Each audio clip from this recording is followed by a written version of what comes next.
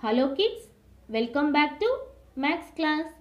Today we will learn about the find out how many in all. Okay, let's see the first example. Now we are going to count groups first. 1, 2, 3. Here 3 groups. Then we will count how many in each group. 1, 2, 3, 4. 4 in each group. So, therefore the answer is 12 clouds in all. Okay kids, let's see the next example. Now we are going to count groups first. 1, 2. Here 2 groups. Then we will count how many in each group. 1, 2, 3. Here 3 in each group. So, therefore the answer is 6 planes in all. Okay.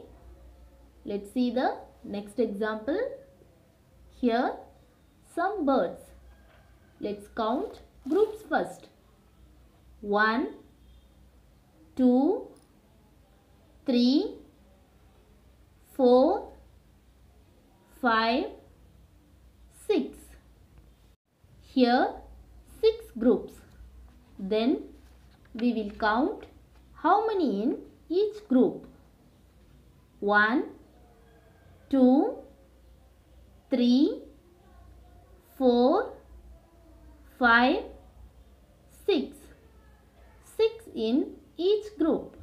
So, therefore the answer is 36 birds in all.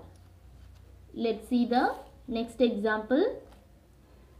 Let's count the groups. 1, 2, 3. Here 3 groups. Now we are going to count how many in each group. 1, 2. Here 2 in each group. So therefore the answer is 6 balloons in all. Okay. Let's see the next example. First we will count groups. 1, 2, 3, 4, 5. Here 5 groups.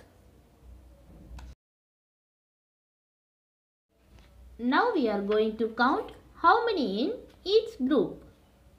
1, 2, 3, 4, 5,